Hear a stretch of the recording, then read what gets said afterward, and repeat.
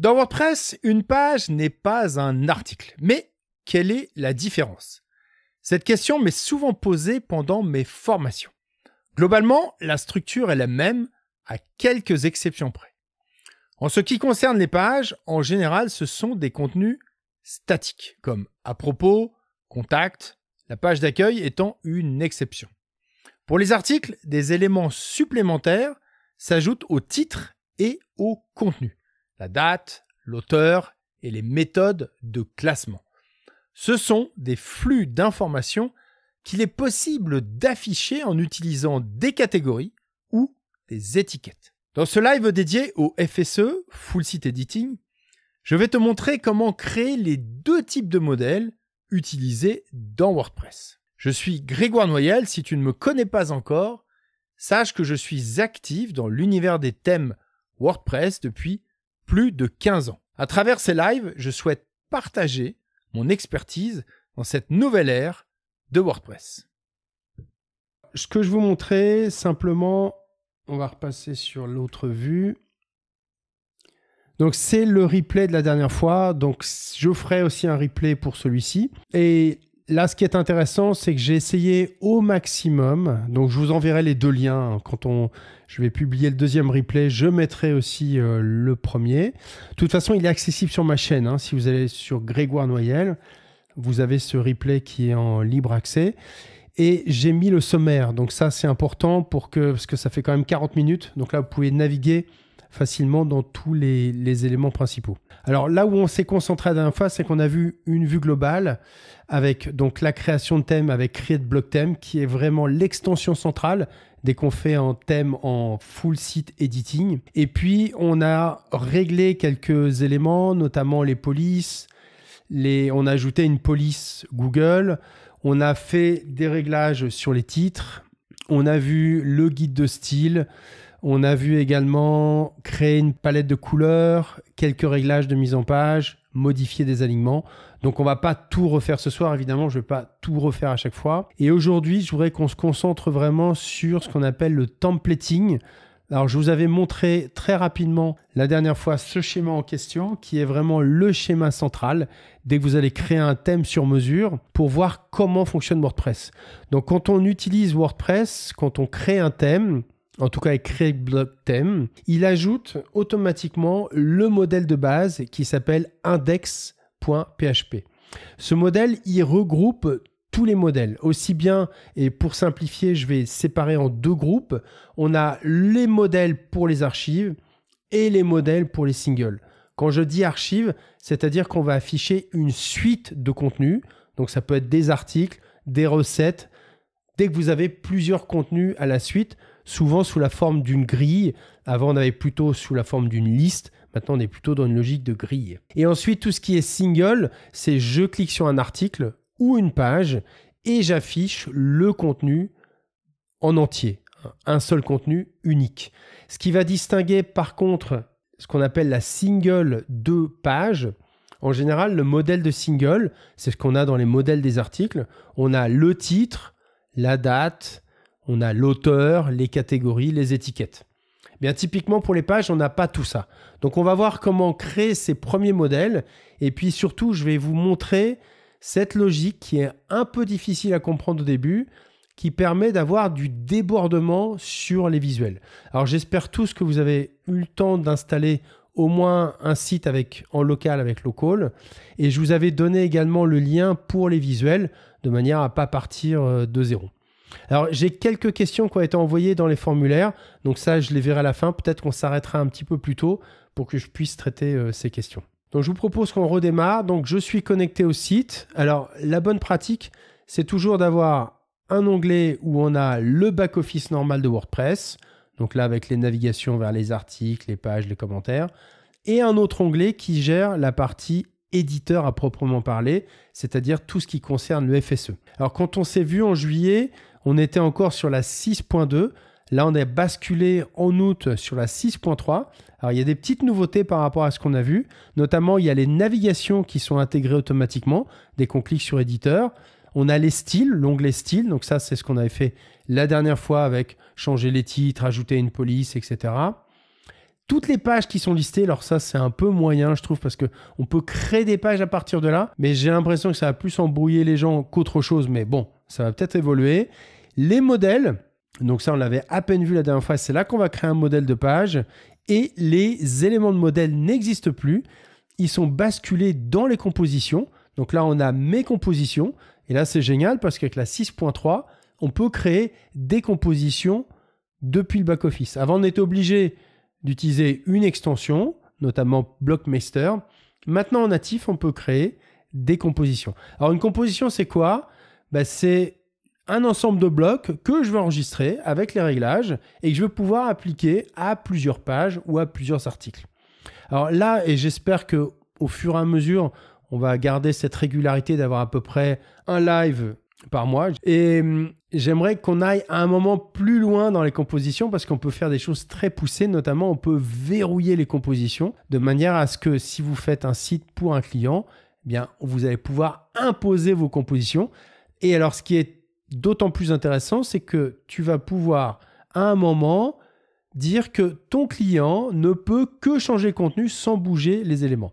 Alors les tests qu'on avait fait dans un des modules que j'avais, notamment Sergio euh, était là, ce qui était gênant, c'est qu'on pouvait déverrouiller les compositions qu'on avait en amont verrouillées. Eh bien, j'ai trouvé la méthode. Il y a une méthode qui permet dans l'API de dire, ben moi, pour tel rôle, je veux pas qu'il puisse déverrouiller mes compositions. Donc ça veut dire qu'on peut faire des choses quand même très pointues juste avec les compositions. Donc ça, c'est juste une aparté, mais on fera, je pense, un, live que sur ça parce que ça, ça mérite vraiment un live entier. Alors, il y avait une question de, de Sergio notamment qui me demandait c'est quoi la différence entre les modèles et les éléments de modèle, ce qu'on retrouve ici?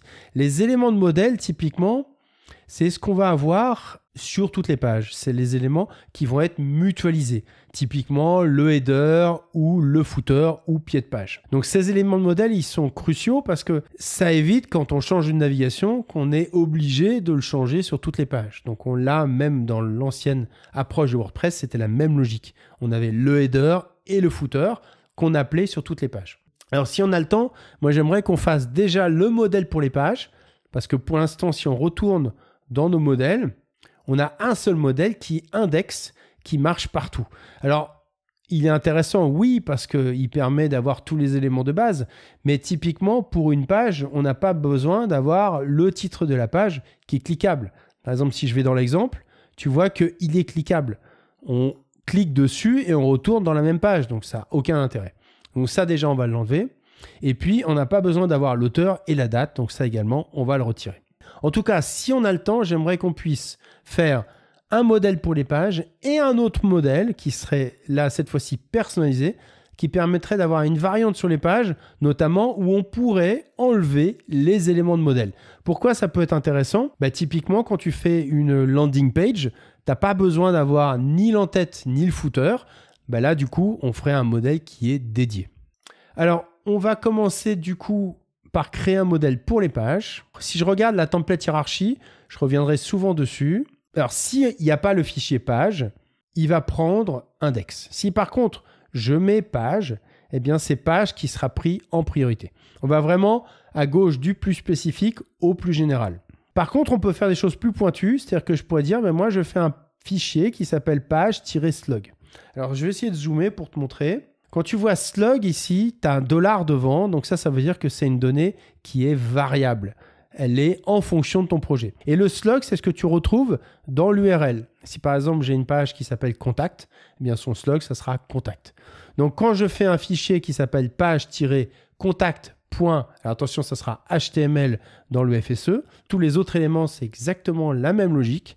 Eh bien, si je fais page-contact.html, le modèle va s'appliquer automatiquement à la page contact. On va pas aller jusque là, mais je te donne juste euh, l'info. Ensuite, on va aller dans la partie éditeur. Donc là, pour y aller, je te remonte, c'est dans apparence éditeur. Donc là, j'ai deux onglets d'ouvert et je vais ajouter un nouveau modèle. Si je fais page, regarde ce qui va se passer. Il va me dire, est-ce que je veux que ce soit pour toutes les pages?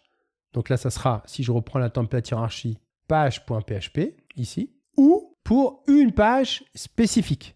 Donc là, il va me proposer de sélectionner une des pages qui existent. Donc là, il reprendra le slug. C'est pas ce que je veux, donc je vais repartir à zéro. Je vais faire page et je fais toutes les pages. Il me propose de repartir d'un modèle. Ça n'a pas d'intérêt puisque là, le modèle qui me repropose, c'est l'index. Non, moi, je veux partir de zéro. Donc, je vais faire passer. Et là, je me retrouve sans rien. Alors, ce qui est important, dès que tu vas construire des modèles, c'est d'utiliser l'avion liste. Parce que tu vois ce qui se passe. Tu vois comment tu construis ton modèle. Donc là, je vais fermer à droite mes options. Donc là, je vais ajouter un premier élément. Et alors, je te conseille le raccourci. Tu peux utiliser le plus qui est à droite, mais tant que possible, utilise ce raccourci. Il te le dit d'ailleurs saisir slash pour choisir un bloc. Et là, on va utiliser un élément de modèle, donc un élément qui est mutualisé, qui existe déjà. Dès que tu crées un thème avec create block thème, les deux éléments de modèle s'ajoutent automatiquement. Tu as le footer, le header ou l'entête.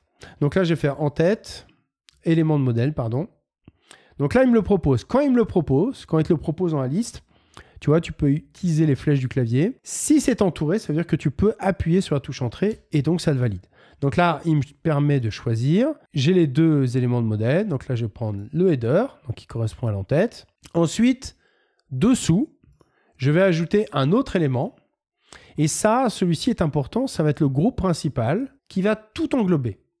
Il va être utilisé notamment si tu avais besoin d'une couleur de fond sur ce bloc, il va prendre toute la page, toute la largeur.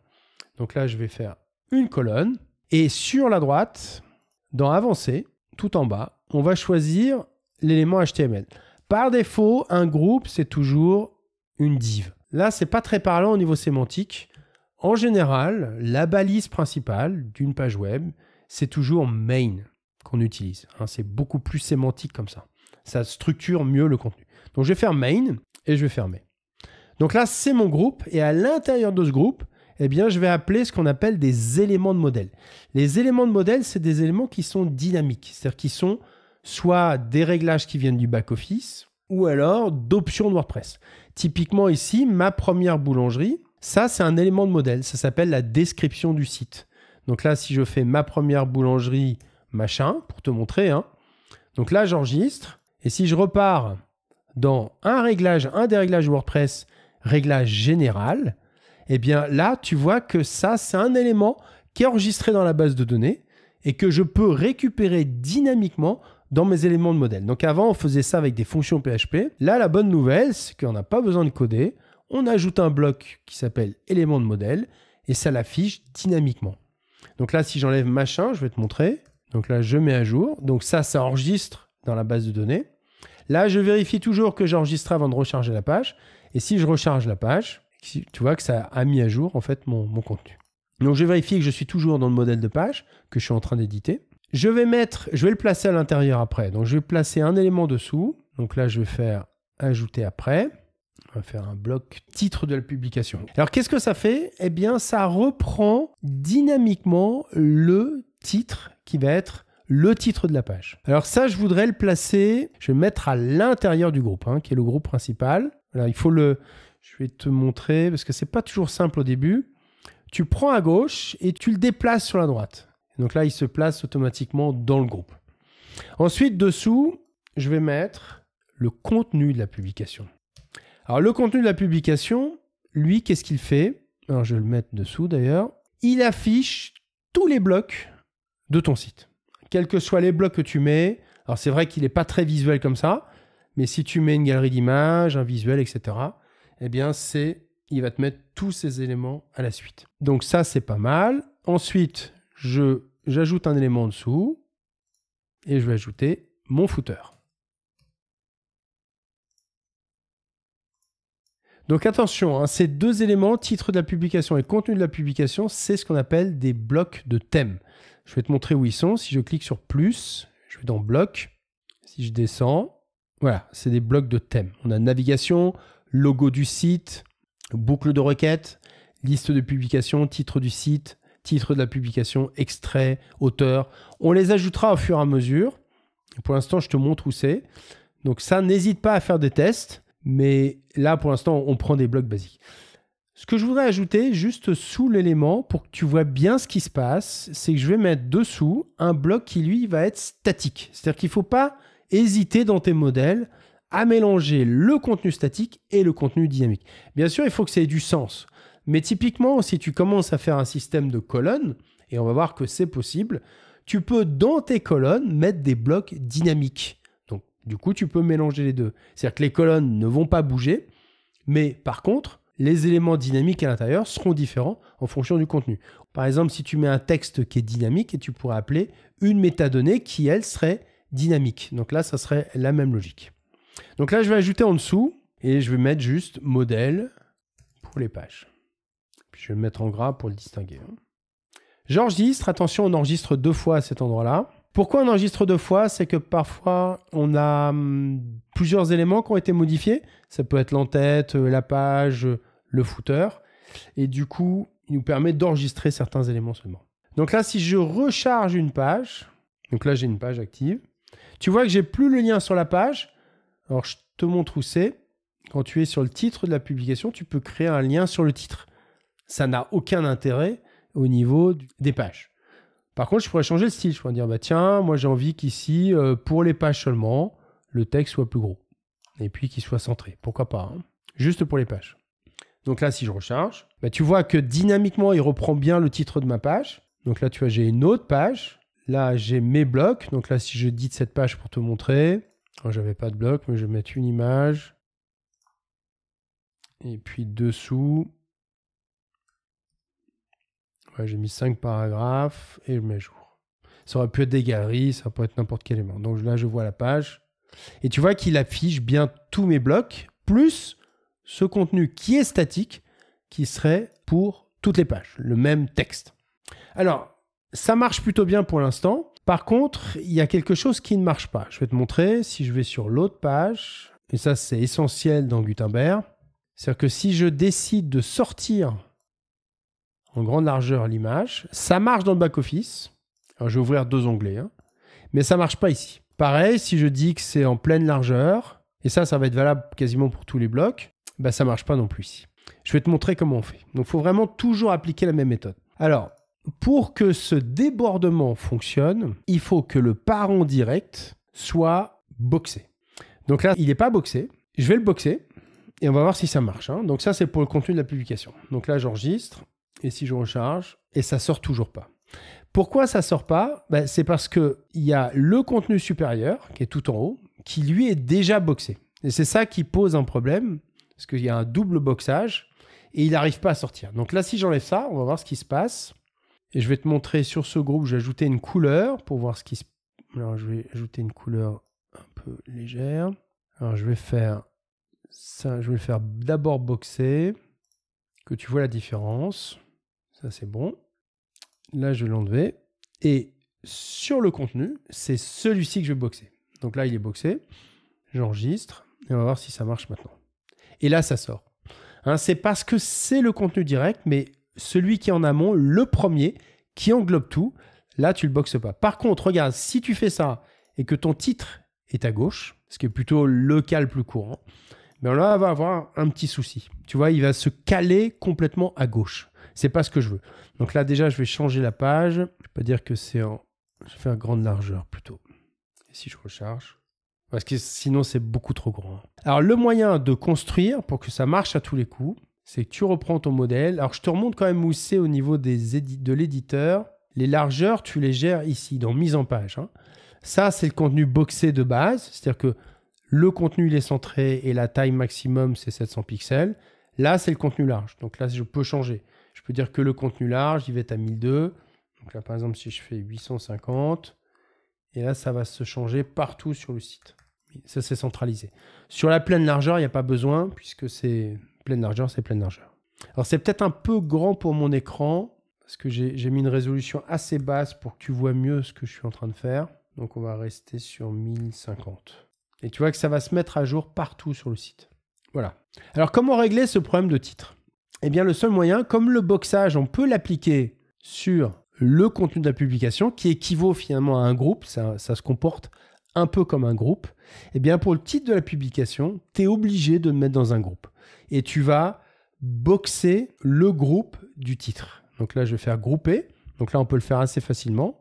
Je vais dire grouper. Donc ça le met directement dans un groupe. Et là, par défaut, dès que tu mets un groupe, c'est boxé. Et tu vas voir que ça règle tout de suite le problème. Donc là, si je recharge, mais tu vois que mon titre, en fait, s'aligne avec le boxage standard.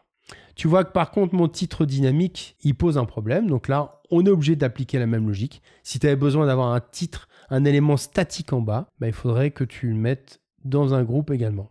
Donc là, on va faire grouper. Et donc là, tu vas voir que maintenant, tout est boxé correctement. Et puis, j'ai ma couleur euh, d'arrière-plan. Alors là, je trouve que tu vois, au niveau du contenu principal, c'est trop serré. Alors, on va le mettre. Hop. Je vais repartir dans mon modèle. Et puis, je vais mettre un peu de au niveau du groupe, hein, le principal. On va mettre au niveau des dimensions. Alors ça, c'est nouveau depuis la 6.3. On a beaucoup plus de contrôle au niveau des marges internes ou externes. Et ça peut fonctionner par groupe. Ça, c'est intéressant. Horizontal ou vertical, ou haut, bas, droite, bas, gauche, ou tout personnalisé. Donc ça, c'est vachement bien. Typiquement, tu vois, la marge interne, hein, tu l'as fait en direct sur en haut et en bas tout de suite.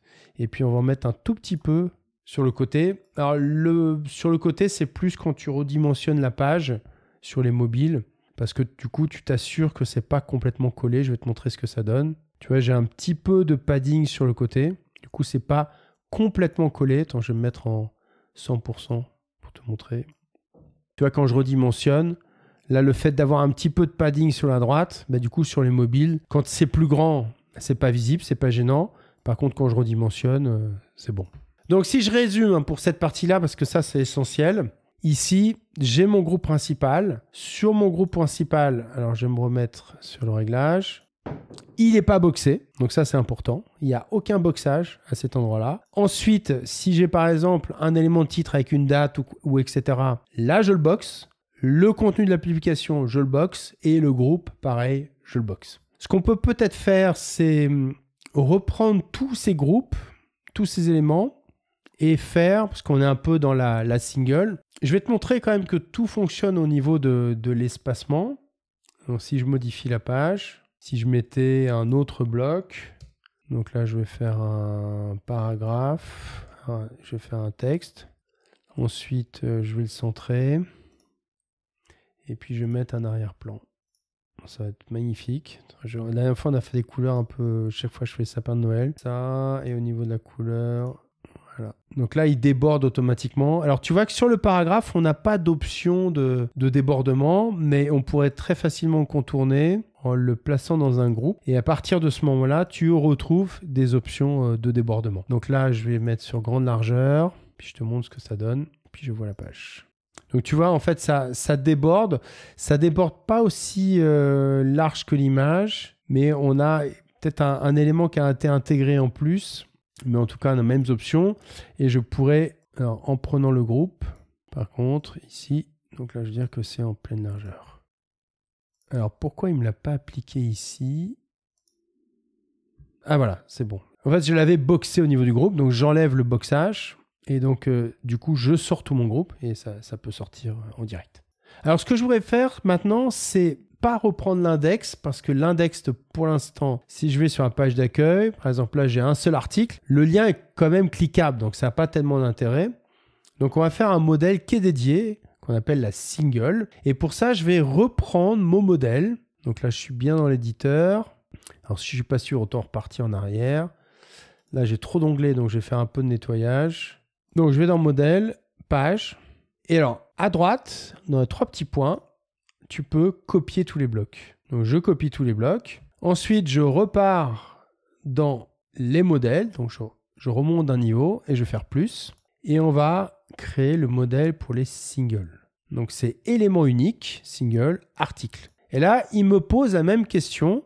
Je vais te afficher la template hiérarchie. Quand tu es sur single, voilà. Donc là, on pourrait dire que on a, c'est quelque chose qu'on fait jamais, hein, mais je te montre la logique quand même. C'est-à-dire que si tu fais single post type avec le slug, donc post type, ça sera le type. Et là, typiquement, ça serait single-post, donc qui est un des contenus de WordPress. On a page ou post par défaut.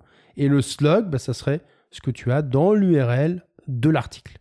Sinon, si tu fais single tout seul, ça va s'appliquer à toutes les singles et notamment les articles. On verra dans un autre live Comment créer un contenu sur mesure Donc on fera une recette ou autre chose. Et là, on partira de zéro et on va construire les modèles spécifiques pour ce contenu. Donc là, on va faire single simple, tous les articles. Il nous propose la même chose. On va faire passer. Et ici, comme j'ai précédemment copié tous mes blocs, moi j'ai juste à faire commande V.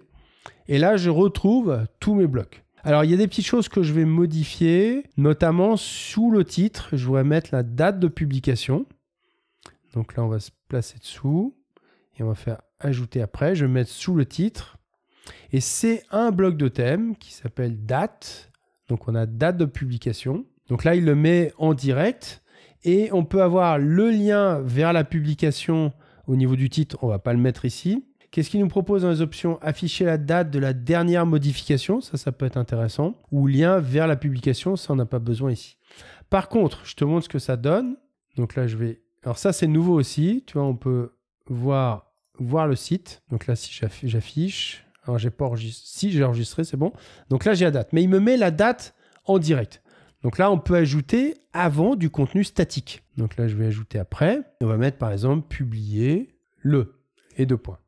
Alors, comment les grouper sur une seule ligne? Il n'y a rien de plus simple. Tu les sélectionnes tous les deux, ou tu passes par ici. Soit tu les sélectionnes dans l'édition elle-même, soit tu prends les blocs avec la touche majuscule. Je te montre. Donc, tu appuies sur la touche majuscule, le deuxième. Et là, tu peux directement les grouper. Il y a pas mal de choses dynamiques que tu peux faire dès que tu sélectionnes plusieurs blocs. Tu peux les déplacer, tu peux les grouper, tu peux les supprimer. Là, je vais les grouper, mais pas les grouper n'importe comment. Je vais les grouper en rangées. Ça permet de les mettre sur un même niveau. Donc ça les met directement. Par contre, tu vois que l'ordre va pas, ben, je vais les déplacer avec la flèche ou avec le glisser-déposer qui est ici. Ça fait la même chose. Alors ce qui est intéressant quand on a la rangée, c'est qu'on a la possibilité, tu vois que comme il y a un boxage qui est appliqué, je peux aussi sortir toute la rangée. On peut également les centrer ou les mettre à droite ou à gauche. Donc ça, c'est très très pratique le bloc rangé. Et puis si on trouve, je te montre, j'enregistre d'abord pour te montrer. Donc là, c'est pas mal. Tu vois, il y a trop d'espace. Eh bien, c'est facile à régler. Tu vas, tu sélectionnes la rangée.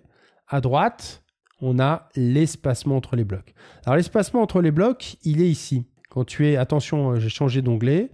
Dans l'onglet style mise en page, on a l'espacement entre les blocs global qui s'applique partout. Donc là, du coup, localement, quand tu as besoin de, faire un espacement différent, c'est possible à tout moment. Donc là, attention, je sors de l'onglet style, je repasse dans l'onglet normal. Et puis ici, je vais changer l'espacement entre les blocs. Voilà. Donc là, si je mets à 0, j'ai vraiment 0. Et je vais mettre quelque chose un peu plus, un peu plus précis. Et là, j'enregistre. Voilà. Donc là, tu peux dire, ouais, bon, c'est pas assez gros. Bah, on peut changer. Hein. C'est du... On a la main sur ça. Donc là, ça va l'appliquer sur toute la rangée. On pourrait même changer la couleur.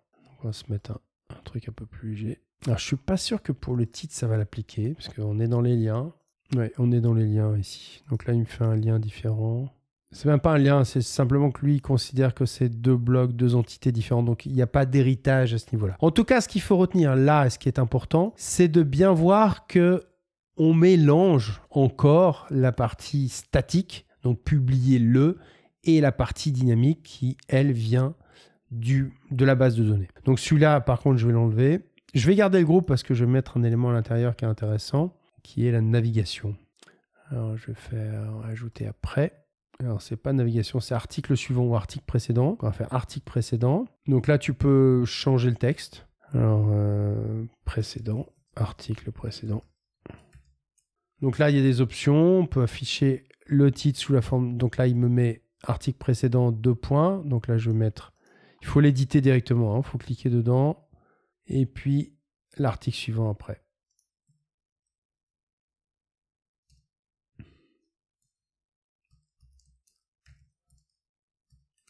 Puis là, pareil, je mets le titre. Alors, tu as des petites options. Tu peux mettre une flèche. Tu peux mettre des chevrons.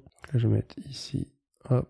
hop la flèche. On va mettre sur les deux. Et puis, si tu veux les mettre de chaque côté, on va utiliser la même logique, la ranger, et on peut la centrer ou la faire déborder. Alors c'est ici, je la centre. Alors si je voulais la faire déborder de chaque côté, je vais te montrer quelque chose qui peut être intéressant là dans ce cadre-là. On va sortir celui-ci et je vais lui donner une largeur particulière. C'est-à-dire que le groupe, il est boxé et je vais lui donner, donc si je me mets ici, je veux dire qu'il est à 900 euh, pixels. Là, on va le laisser tel quel, c'était 650. Et ici, je vais mettre 900 pixels pour le, la version large.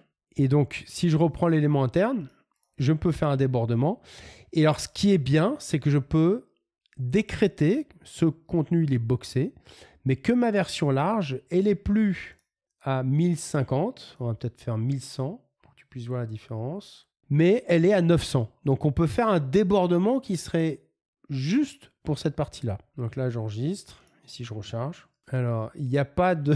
il ne fait pas de navigation parce que j'ai qu'un article pour l'instant. Euh, donc je vais juste recréer un article vite fait. Enfin, il faudrait que je mette une image pour te montrer.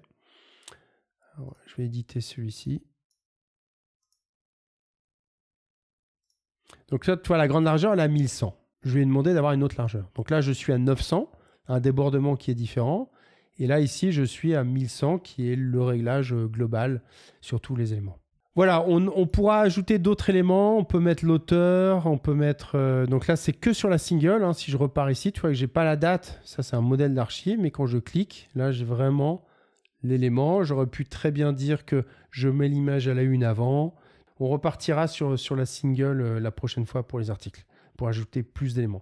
Je voulais qu'on se concentre un peu sur les questions. Alors les questions que j'ai eues la dernière fois, qui m'ont été envoyées dans les formulaires, Max me demande si au niveau du DOM, ça n'alourdit pas trop de grouper un, texte unique. Bon, ça ajoute une balise, mais on n'est pas non plus dans les constructeurs de pages euh, type Elementor ou autre euh, qui ajoutent des groupes dans des groupes, dans des groupes, dans des groupes. Donc ça reste très correct hein, quand même. Donc ça va est-ce que c'est nécessaire d'utiliser un thème enfant? Moi, je considère pour l'instant qu'on peut partir directement et c'est sans doute mieux comme ça. Alors, ça va vous demander un peu plus de temps, mais vous créez votre thème de zéro avec Create Block Theme. Vous vous familiarisez petit à petit, vous ajoutez votre style. Et comme là, finalement, dans nos modèles, on va voir qu'on ajoute globalement que des blocs qui sont natifs, bah, il n'y aura pas de problème au niveau des mises à jour parce que les blocs vont se mettre à jour automatiquement et du coup, vous n'aurez pas de conflit au niveau de ce que vous avez utilisé dans vos modèles. Plus vous restez proche du cœur de WordPress et moins vous aurez de soucis. Pourquoi on utilisait à un moment les thèmes enfants? Parce que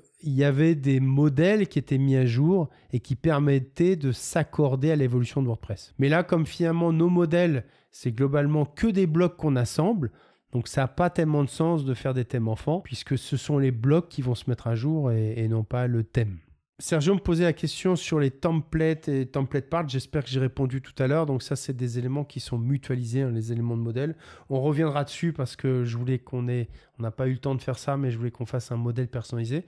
Mais on reprendra euh, cette partie la prochaine fois. Oui, pourquoi il y a des problèmes de rendu? Alors ça, normalement, si on applique, je vous ai mis le lien, je le remettrai dans la page très haut, dans ce qui permettait de télécharger les visuels on a ce petit code qui n'est pas grand chose à mettre.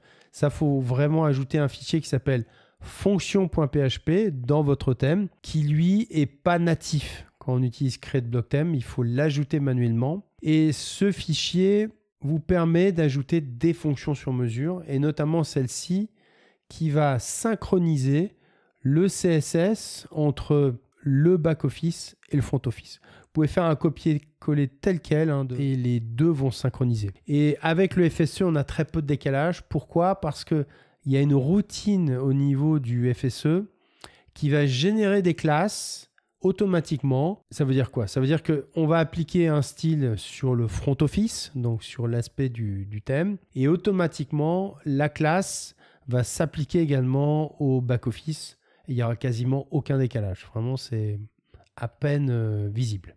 Je, suis vraiment très content de cette partie-là parce que avant, on était obligé de faire deux feuilles de style à part. Les classes n'étaient pas les mêmes et ça donnait beaucoup de boulot.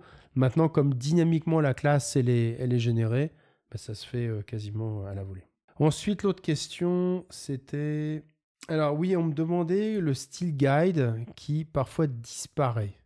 Alors ça, j'ai jamais eu ça. Je vais rafficher mon, mon écran. Alors, Style Guide, c'est ça. Si je suis dans l'éditeur, c'est, on l'a vu la dernière fois.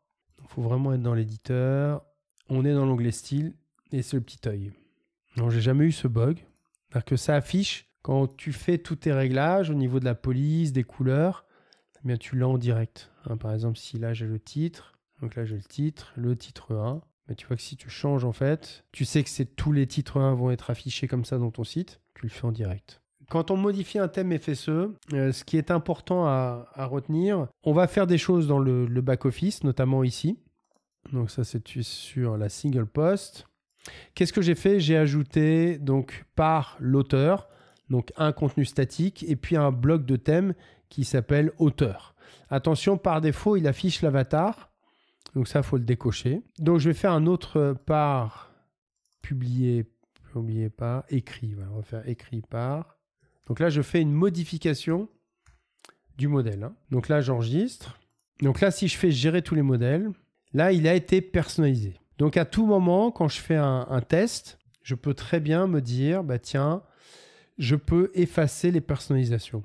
Ça veut dire quoi? C'est que j'ai modifié un modèle, mais si j'efface les personnalisations, la référence, ça va toujours être ce que j'ai dans mon code. Donc du coup, ça me permet de valider au fur et à mesure ce que je fais. Et si je considère que le, modèle est correct, ben dans ces cas-là, je valide et ça va être vraiment enregistré dans mon thème. Là, tu vois, je ne peux pas le supprimer. Euh, je vais faire un modèle euh, pour une page spécifique, juste pour te montrer. Hein. Donc là, on va prendre ce modèle-là, je vais enregistrer. Donc là, si je reprends ici, je la supprimerai après, c'est pas grave. Hein. Eh bien là, j'ai fait un modèle dans mon back-office et il n'est pas enregistré dans mon thème. C'est-à-dire, je peux le supprimer. Donc là, ce qui est important, c'est quand tu vois que le modèle fonctionne, tu l'enregistres en dur dans ton thème. Donc pour faire ça, tu cliques sur n'importe quel modèle et tu fais ici enregistrer les modifications. Donc là, j'enregistre. Et si je repars donc d'enregistrer tous les modèles, tu vois qu'il a été enregistré et je ne peux pas le supprimer. Là, l'élément que j'ai, si je le modifie, je vais le reprendre pour te montrer toutes les étapes. Donc là, si je repars dans le code, il a bien été ajouté cette fois-ci. Et si je l'édite, juste pour celui-là, toi, c'est pour la sample page. Donc là, je vais mettre euh, pour euh, modèle pour ma page spéciale. Ça, ça va s'appliquer juste ici. Donc là, je vais repartir pour te montrer. Donc là, c'est ma page spéciale. C'est le modèle que pour cette page. Tu vois qu'il est possible de faire un modèle que pour une page. On verra que c'est plus intéressant de faire un modèle de page qui est mutualisé. Et si je repars dans mes modèles, eh bien, tu vois que là, il est personnalisé. C'est-à-dire que, pareil, le, le fichier du modèle, il est enregistré dans mon thème, mais j'ai ajouté quelque chose de différent dans le back-office. Donc là, tu peux valider de la même manière. tu peux dire, ben non, moi j'efface les personnalisations. J'ai pas envie d'avoir ce truc-là, là, ma page spéciale juste en bas. Donc là, j'efface. Ou alors, je clique sur le modèle et je fais enregistrer et ça le valide dans mon thème. Mais là, je vais dire non, non, moi ça, ça m'intéresse pas, c'est juste un test. Et regarde, si je recharge, il va toujours prendre la référence qui est enregistrée dans ton thème. Donc ça, c'est important de, de, garder cette logique, de valider au fur et à mesure ce que tu fais avec Create. Si tu as déjà fait du versionning avec Git, c'est exactement la même logique. C'est-à-dire que tu peux créer des modèles directement de back-office. À un moment, il faut les valider dans ton thème. Tu peux modifier ces modèles tant que tu veux. Tu vois si ça marche. Si ça marche, tu les valides. On s'arrête là pour ce soir. Pour la prochaine fois, donc on va se concentrer sur les archives, les modèles d'archives. Un bloc qui est essentiel qui s'appelle Query Block, qui permet de faire des, des, boucles sur mesure. Alors, pour te donner une idée quand même, moi ça fait, ça fait plus de 10 ans que j'enseigne WordPress. Pour les boucles sur mesure, on utilisait un objet PHP qui s'appelle WP Query. Euh, pour cette partie-là, on passait euh, facile une journée. Maintenant, sans coder, on a, on a accès à tout. Évidemment, tu n'as pas autant de souplesse que l'objet WP Query, mais dans 90% des cas, euh, ce sera suffisant. On fera un modèle, on reprendra la logique des modèles pour faire un, un modèle sur mesure, d'abord sans l'entête et sans le footer. Et en accélérant un petit peu, j'aimerais bien te montrer un modèle où on peut faire plusieurs requêtes dans la même page. Pour faire typiquement une page d'accueil où tu appellerais des articles euh, d'une catégorie, des articles d'une autre catégorie. Donc ça pourrait être un peu ça dans l'approche.